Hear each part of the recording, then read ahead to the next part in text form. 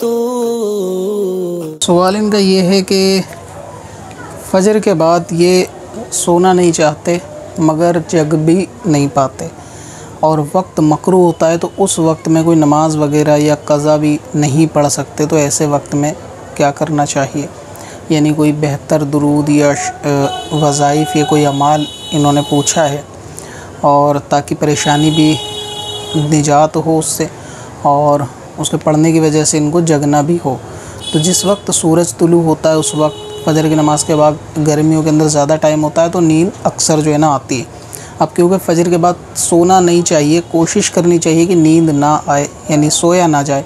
अगर कोई ऐसी मजबूरी है तो एक अलग बात है। किसी के साथ कोई ऐसा मसला है, देर से काम पे जाना है, या फिर सोना ज़रूरी है दिन के सारे मामला या काम करने के लिए तो फिर कोई हर्ज वाली बात नहीं।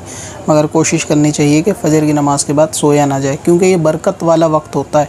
और बरकत वाले वक्त में जो है, कोई शख्स गाफिल रहे तो ये दुरुस्त नहीं है। तो इस वक्त में जो है ना, कोई दुआ, अज़कार वगैरह ये करना चाहिए। अब घर की हालत को फ़ाइनेंशियली हालत गालिबा आपकी मुराद होगी। दुरुस्त करने के लिए मकरू वक्त ही में पढ़े जाने वाला मैं आपको एक अमल बताता हूँ। इन ताला आपको उससे ये कि नींद ना आए उसके लिए आप उसको पढ़ भी सकते हैं। यानी नींद से बचने के लिए कि कोई काम आपके पास रहे पढ़ने का।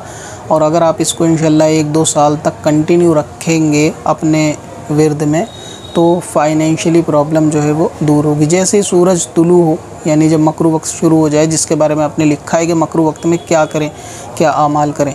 जैसे ही मकरू वक्त शुरू हो, फजर से फारिग वगैरह होकर, उस वक्त में तीन सौ मरतबा बिस्मिल्लाह शरीफ पढ़नी चाहिए मुकम्मल। बिस्मिल्लाहिर्रहमानिर्रहीम। तीन सौ मरतबा, तीन तस्वीर सौ सौ दाने की पढ़ना शुरू करते जैसे ही सूरज तुलू हो। और तीन सौ मरतबा इसके बाद दरूद पाक पढ़ें।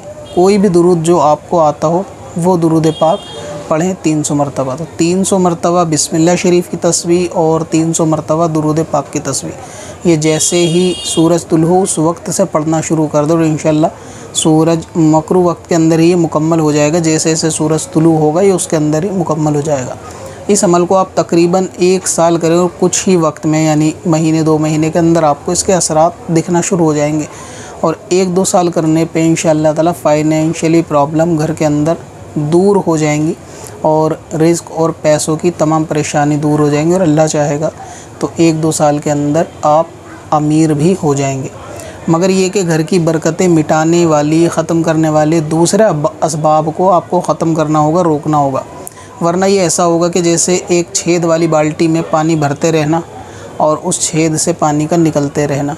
और आदमी ये इमेजिन करे, या गुमान करे कि ये बाल्टी कभी ना कभी भरेगी जबकि ऐसा नहीं होगा। तो पानी भरने वाला फिर अपनी उम्मीद को छोड़ देगा कि बाल्टी कभी नहीं भरेगी और नाउम्मीद हो जाएगा।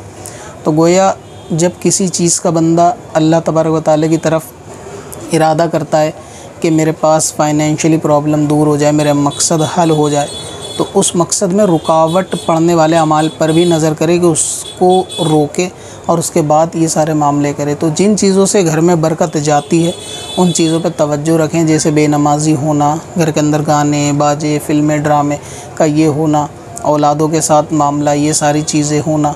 इसी तरह घर में दस्तरखान के ऊपर हाथ धोना, कभी ना धोना तो खाने के बाद भी फिर हाथ धोना तो इन सब चीज़ों का ख्याल रखें कि जो चीज़ें घर की बरकतों को मिटाती हैं, उनको ख़त्म करें और इस वजीफ़े को चालू रखें तो इन ताला पैसों की परेशानी जो है वो एक साल के अंदर ख़त्म हो जाएगी और मकरू वक्त में आप सोने से बच भी जाएँगे और ये अमल करने से आपका मकरू वक्त जो है वो ज़िक्र में, अल्लाह ताला की इबादत में जो है वो सर्फ भी हो जाएगा। अब अपनी ज़रूरत के लिए आसान वजीफ़ा तलाश करना हुआ और भी आसान। विज़िट करें Wazifa dot S M S Warsi dot com पर। और अपनी दीनों दुनिया की भलाई के लिए पाएँ ढेरों आसान वजीफे। कब से अपनी खताओं का शुमारा जा